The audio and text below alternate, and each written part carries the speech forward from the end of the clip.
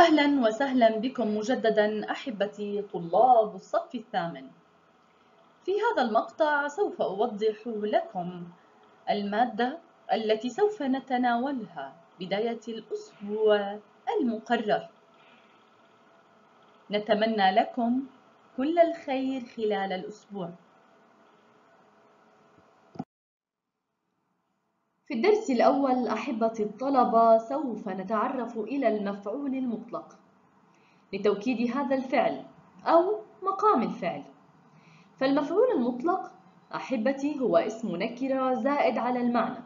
يأتي لتأكيد الفعل أو الحدث أو حتى بيان نوعه أو عدده. وسمي مطلقا لأنه لا يقيد بحرف مثل في مع المفعول فيه أو اللام مع المفعول لأجله. ولا بد أن تتعرف إلى بعض الأمثلة خلال هذا الدرس والتعليمات الخاصة بالمفعول المطلق. ولا بد أن تعرف عزيزي الطالب أننا في الأسبوع الثامن عشر سوف نتعرف إلى درس المفعول المطلق الذي يكون زائداً وسوف نقوم بحل أسئلة وأمثلة وتدريبات الكتاب حول المفعول المطلق من خلال الأنشطة الصفية والتواصل في العمل الجماعي. بعد ذلك سوف نقوم معا بكتابة تقرير بمراعاة سمات فن التقرير من الانتباه إلى تضمين النسب والأرقام والإحصائيات والأعداد وغيرها إلى هذا التقرير الذي سوف يتمحور حول التعلم عن بعد.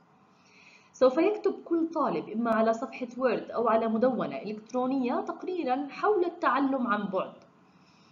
في الحصة الثانية سوف يقرأ مقالا عبر منصة أقرأ بالعربية. هذا المقال بعنوان موسم كورونا وسيتم تحديد العناصر الخاصة بالمقال عبر خلال القراءة. هذا بالإضافة إلى أننا خلال هذا الأسبوع سوف نقوم بتصويب الأخطاء الإملائية الخاصة بالمهمة التكوينية الثانية التي عقدت في الصف حول المقارنة والمقابلة بين فن التقرير وفن المقال حول موضوع الزلازل.